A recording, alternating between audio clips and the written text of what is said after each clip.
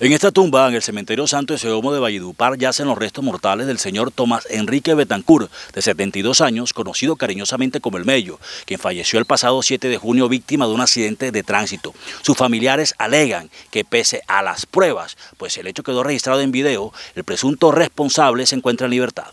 Yo quiero hacer justicia, que la muerte de mi papá no quede como muchas muertes aquí en Valledupar, que atropellan a la gente y los casos quedan archivados, nadie hace nada, nadie dice nada. Yo quiero que esto no quede impune. Pongo en contexto sobre tu padre, ¿quién fue tu padre y de qué manera murió? Mi papá iba para Mercabasto a comprar el sustento de, su negocio porque él vendía verduritas en la casa. Ellos tenían su negocito allá. Y el señor lo atropella con el camión. Se lo lleva porque él perfectamente lo vio que venía, que venía. ¿Por qué no le pitó? ¿Por qué no hizo algo? Si él ve, porque mi papá incluso iba con una camisa fosforescente. O sea, el señor mínimo tendría miopía si fue que no lo vio.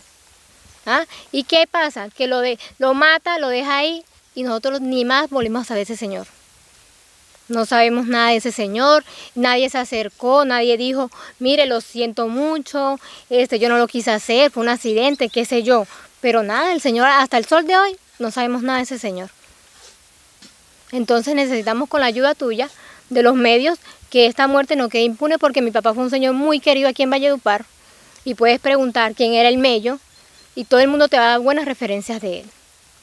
Aquí en el conjunto cerrado todo el mundo lo, quería, lo quiere.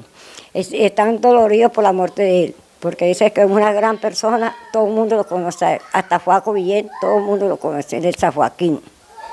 ¿Qué piensa usted de este hecho tan lamentable? Que hagan justicia, que el Señor haga justicia, que el Señor se presente, que de cara para ver qué, es lo que va a hacer.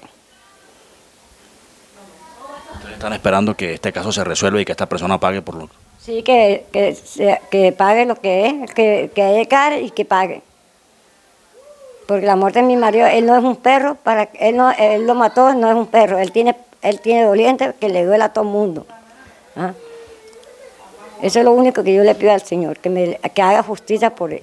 ¿Para dónde se dirigía el señor Tomás cuando sucedió el accidente? Él iba para el mercado porque yo vendo verduritas, él iba para el Mercabasto a comprarme las verduritas. Y en el camino, cuando iba para allá, me lo mató el señor. ¿Cómo se enteró usted? Porque un celador cuando iba de aquí para allá, se fue para allá para la casa y me dijo, Mellita, yo le, ¿qué pasó?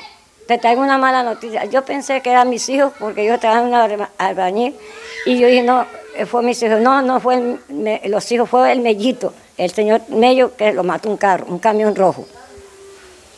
Entonces yo no, no me dejaron ir porque yo estaba, me explomé, yo estaba muy, muy, muy, muy dolorida con la muerte de mi esposo.